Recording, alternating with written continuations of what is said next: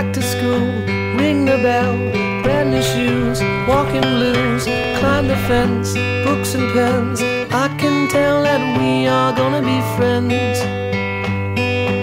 I can tell that we are gonna be friends.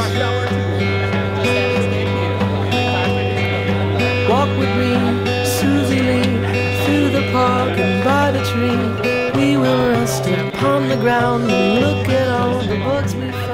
of the biggest criteriums in America. It's a huge crowd out here. There's a lot of money on the line. The guys had to sit for half an hour while they towed some cars out of the way.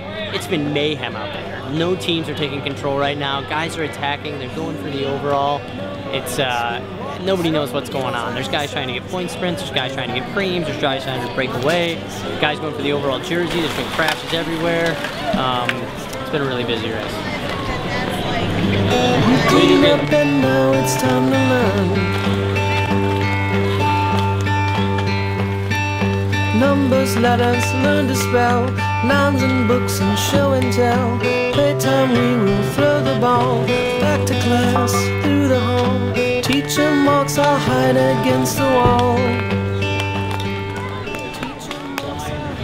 Spent two broken collarbones already today, and uh, Too risky?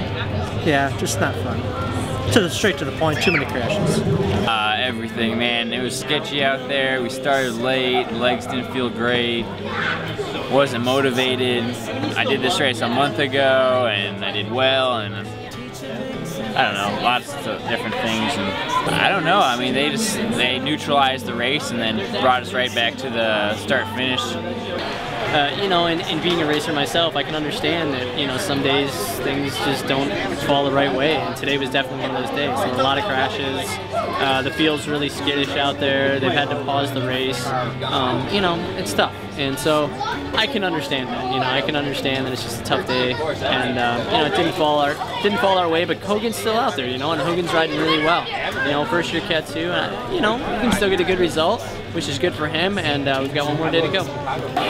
Hogan's still in there. Hopefully he does well. Man, props for him for staying out there, guys.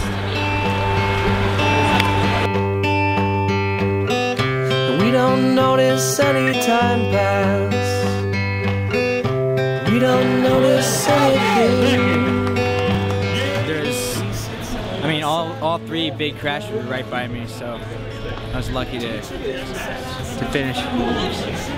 When I saw all my teammates on the sidelines, I'm like, someone's got to finish. So, so I hung in there. ready for a little break and then hit hard for Grove next weekend. So Together again.